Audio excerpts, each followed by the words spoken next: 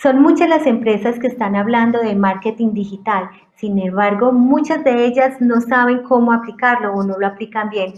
Hoy tendremos a Juan Gabriel González Pulgarín, él es el presidente para Latinoamérica de Blue Design Worldwide y nos hablará de qué hay más allá del marketing digital.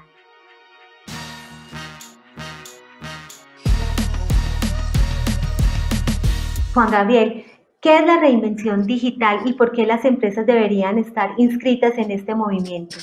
La reinvención eh, digital es un tema que viene hace algún tiempo ya eh, hablándose. Eh, nosotros lo vemos como una necesidad de las empresas de llegar a un objetivo común, tanto a nivel de procesos internos como a nivel de procesos externos. A nivel de procesos internos, hay muchas herramientas en el mercado las cuales podemos utilizar para optimizar todas esas tareas, todos esos procesos que conllevan de pronto eh, con las eh, tradicionales herramientas que podemos tener eh, mucho más tiempo y quizás no tanta exactitud como lo podemos ver a nivel de nuevas tecnologías, donde podemos ver una analítica, donde podemos ver exactamente qué tiempo se están demorando en ese tipo de procesos y esto nos dará una mejor información para poder llegar a ese objetivo de manera clara y de una manera un poco más rápida. A nivel externo, también tenemos eh, que utilizar y adaptarnos a estas nuevas tecnologías, ya que el cliente también quiere una mejor experiencia cada día, quiere que tenga un mejor acompañamiento y muchas veces las tradicionales herramientas que podemos tener no alcanzan a abarcar todas estas necesidades que el cliente desee en el momento. Por eso es importante llegar a, abrirnos a estas nuevas tecnologías y así poder tener una mejor capacidad de respuesta y una mejor optimización en el tiempo, tanto a nivel interno como externo. En ese orden de ideas, Juan Gabriel, y sobre todo para cumplir la promesa que hicimos en el título de esta entrevista, entonces, ¿qué hay más allá del marketing digital? Realmente el tema de marketing digital en este momento ha tomado el primer lugar a nivel empresarial. Antes de pronto el tema de marketing no lo teníamos tan arraigado como quizás en este momento está sucediendo, donde tenemos un problema a nivel global que nos ha obligado a tomar este tipo de herramientas para continuar todo este proceso de venta, todo este proceso de mostrarme de cara al cliente. Pero entonces no nos podemos quedar solo en una administración de redes sociales, no nos podemos quedar solo en una administración de una página web. Debemos ir un poco más allá y buscar medios de los cuales podamos utilizar otras herramientas para llegarle al cliente. El ser humano por naturaleza es completamente sensorial, así que debemos indagarnos cómo poder llegar a utilizar los medios digitales de una manera óptima y poder trabajar esos temas sensoriales que quizás eh, a nivel físico puedan ser un poco más fáciles, pero que a nivel digital podríamos tener ese tipo de herramientas también y continuar ese proceso para que el cliente siempre tenga una recordación de esa marca, de ese producto por medio de otro tipo de conceptos y herramientas. Ahora, Juan Gabriel, una pregunta que me hacen muchos emprendedores. ¿Es suficiente con tener una página web? Realmente la página web es el primer paso para yo desarrollar todo un proceso de marketing digital es muy importante tener una página web porque esto nos va a generar una mayor credibilidad y si estoy ofreciendo un producto o servicio, eh, lo más importante es que puedan llegar a mi página web y así yo poder analizar quiénes son mis clientes realmente.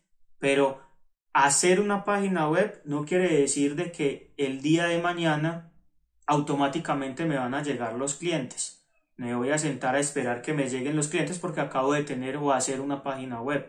No, en este momento debemos realizar un pool de acciones adicionales que nos genere ese embudo para que lleguen a nuestra página web, hacer un posicionamiento orgánico de la página para darla a conocer por medio de los productos o servicios y palabras claves, generar AdWords con esas mismas palabras claves para que la gente que no nos conoce la marca, el nombre o el dominio puedan acceder por medio de alguna de esas palabras también apoyarnos de redes sociales para que demos a conocer por medio de nuestro fanpage una nueva herramienta, un nuevo proyecto, un nuevo producto que estamos ofreciendo y que puedan ingresar a esta página web. Entonces, el primer paso es la página web, pero detrás de la página web debemos de generar todo un proceso para que se genere ese embudo y lleguen todos los clientes que yo deseo a mi página y poder generar esa interacción o esa compra que yo deseo.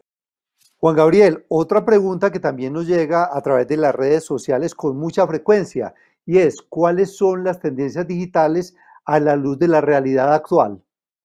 Bueno, para hablar en cuanto a tendencias en marketing digital, eh, quiero hacer un señalamiento especial con las redes sociales. Las redes sociales en este momento se convierten en ese impulsador de negocios, en ese gran aliado a la hora de, yo ofrecer mis productos o servicios. Hablo específicamente de Facebook. Facebook ha tomado una delantera importante con el marketplace. Ha desarrollado una plataforma casi que perfecta para que yo pueda ofrecer unos productos de una manera sencilla, sin tener muchos conocimientos en temas digitales y adicional cuando el usuario está buscando un producto o servicio prioriza la geolocalización de los que están alrededor o cercanos. Entonces, esto hace que Marketplace en este momento sea una herramienta que impulse mi negocio y de una manera económica, sencilla y sin tener unos conocimientos técnicos para desarrollarlo. Y por último, Juan Gabriel, ¿nos podrías dar por favor unos tips para que aprendamos o seamos más efectivos a la hora de hacer publicidad en el tema de marketing digital? Para la publicidad digital es muy importante tener en cuenta tres aspectos fundamentales. El primero es definir mi público objetivo. Cuando yo defino el público, tengo una gran delantera para poder llegar efectivamente a las personas que quiero llegar.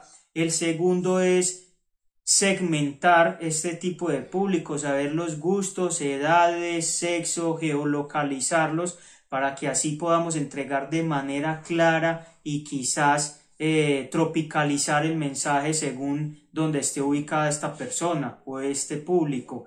Y el tercero vamos a saber exactamente cómo definir qué tipo de medio podemos eh, utilizar para difundir este, este mensaje, ya sea redes sociales, ya sea otro tipo de medios, medios de comunicación virtuales y de esta manera podríamos tener una optimización en nuestro presupuesto cuando definamos este tipo de presupuestos y alcanzar los objetivos planteados por el área de mercadeo.